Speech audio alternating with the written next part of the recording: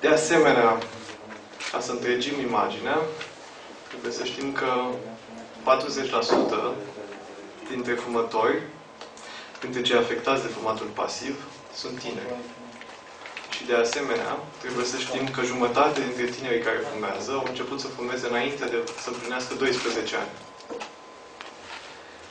Vă vorbesc despre fumatul pasiv, pentru că am stabilit deja care sunt avantajele fumatului activ.